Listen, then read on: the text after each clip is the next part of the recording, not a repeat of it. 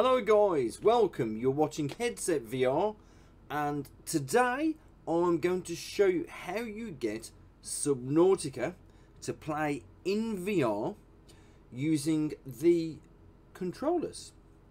Now, there's a couple of things, so this is only going to be a short video.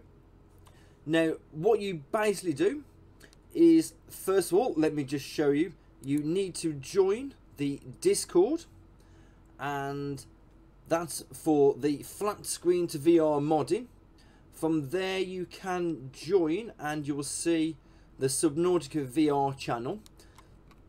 Now from here you can see in the development tab there there's a gentleman called or called I hate TN931 and he has put the Subnautica motion controls test build 4.zip here. Now you can also go into the announcements to download as you can see the VR enhancements and also the snap turning. Now we're going to ignore the snap turning for now because there aren't any other comfort options. We're just going to play with the VR enhancements and that will take you straight to the Nexus mods link which is here and from there it pretty much says straightforward instructions. What you do as it says if you go into the game file which we have here and from there now I already have this installed be warned so I'm, uh, it might not show these files on my screen.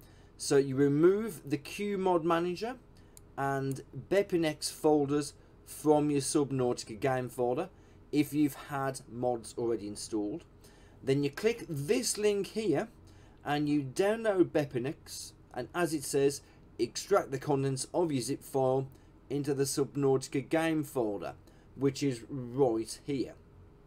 Then you run Subnautica once and what that will do is it will create this plugins file that you can see here. Right, then you download the latest version of the VR enhancements from Nexus Mods or you can get it from GitHub. The links are there. Extract the plugins folder from the zip file into the BepInEx file, which is, as you can see here, you go into plugins and you put the VR enhancements mod there. That is also the same place, as you can see, you put the Subnautica motion controls. Now, a little bit of a pre-warning. Now, two things firstly, is from what the gentleman's been saying in Discord, he's been having a lot better results with the Quest 2 because he uses the Quest 2. And that is, ironically, what I'm using is a Quest 2. But that doesn't mean it won't work for others, but just for now, it's working a lot better on the Quest 2.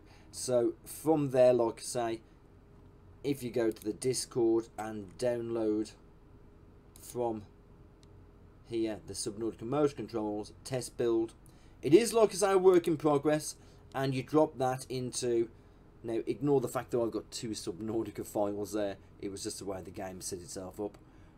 And you put it into plugins that's been created by the start of the game. And from there let me just minimize all this down. You then open Steam VR now I'm running the game through the Epic Game Store as you can see here. And then from there Yes, you do open Steam VR and you launch Subnautica.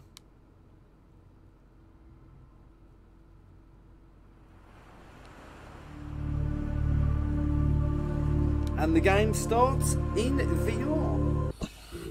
And then, as you can see, I'm in VR. And I use the to rise, the left grip to, grip to descend,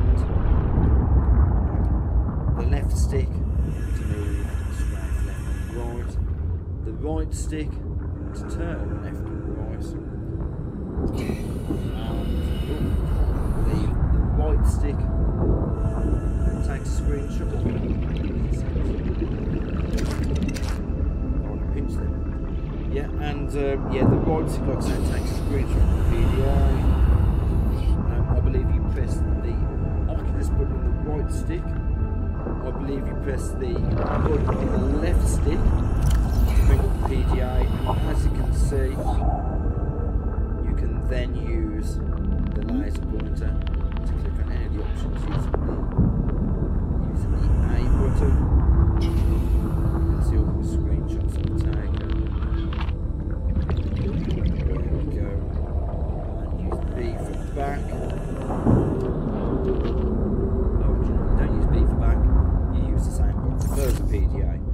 And now the only thing is. Oh, let me just get my breath. And the only thing is that I know of, that I can think, is oh, that I can't use the controllers to go through here. I don't believe. Let me 100% check that by pressing the escape key, which puts you into the pause mode, options, and let's have a look at keyboard we don't want keyboard, we want controller. Right, and then we want the, the menu slots. And now, as you can see, there's nothing bound for the menu slots. However, if we go to the keyboard, they are bound for the menu slots. So you will have to use 1, 2, 3, 4, 5. Well, you don't have to, but or, or use it because they're, they're dead straightforward anyway. But that's pretty much basically it. But as you just saw there, pressing the escape key, you unstuck recenter VR, back to game, and that's it. So that's how you set it all up. It's, it's dead easy, and um, I'm going to be doing a live stream shortly. So this video will come out after the live stream, and then I'll do the same thing for Subnautica below zero. Let's see if we can get everyone set up on that as well. And, uh,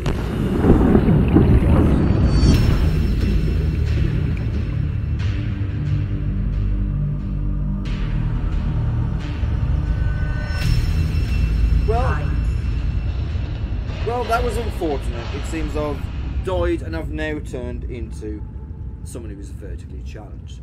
Okay, so I just want to say thank you for watching. You've been watching Headset VR.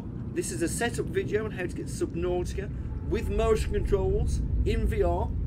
Now this is on PC, so it isn't actually available, unfortunately, on PlayStation VR, but I'm using a Quest 2 headset, which it does run best with.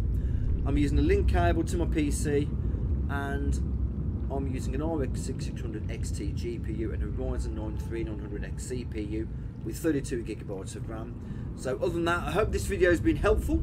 If it hasn't been helpful, then perhaps post a comment in the description, maybe ask me some questions, and we'll see if we can get people started on this. Otherwise, thanks for watching. We'll see you soon. Take care, guys. Happy swimming.